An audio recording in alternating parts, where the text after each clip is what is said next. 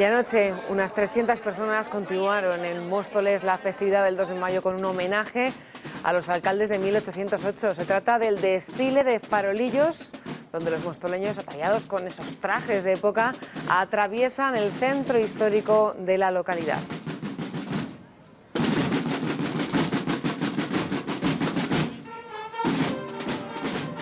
Muchos vecinos participan de esta fiesta a la que este año se ha sumado el actual alcalde Daniel Ortiz y donde realizan una parada simbólica en la casa donde vivió y murió Andrés Torrejón, uno de los alcaldes que declararon la guerra nada menos que a Francia en 1808.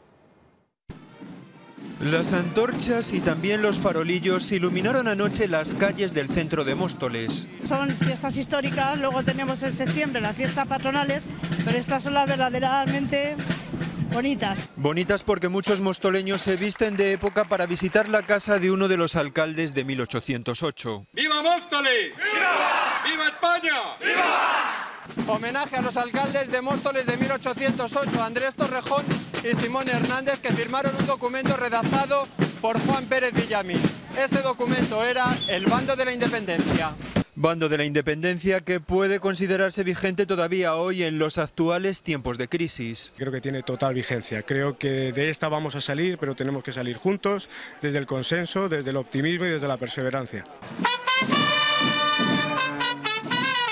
La banda juvenil de música acompañó con sus marchas militares el desfile de los farolillos que cruzó el mercado goyesco envolviendo a la ciudad en un clima del siglo XIX.